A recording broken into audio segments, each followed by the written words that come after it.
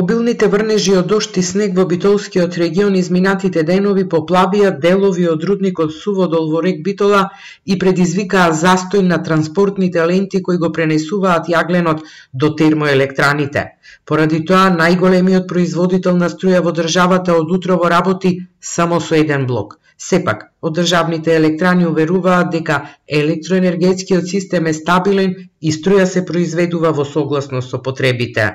АДСМ да во моментов ги задоволува потребите на електроенергетскиот систем со производство на електрична енергија од рек Битола, рек Осломеј, од хидроелектраните и од ветерниот парк.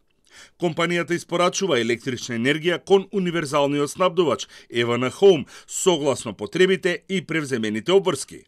Набавка на електрична енергија во моментов нема и не се планира. Елементарна непогода и поплави во рудниците Суводол и Брод Гнеотино во рек Битола имаше и летоска, кога беше прекинат ископот и транспортот на јаглен.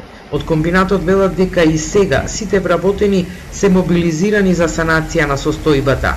Инаку пообилните врнежи од дошт изминатите денови, синоќа Битолскиот регион беше зафатен од врнежи од снег, па утро во снежната покривка изнесуваше 28 сантиметри, а температурата се спушти 13 степени под нулата, со што Битола денеска е најстуден град во државата.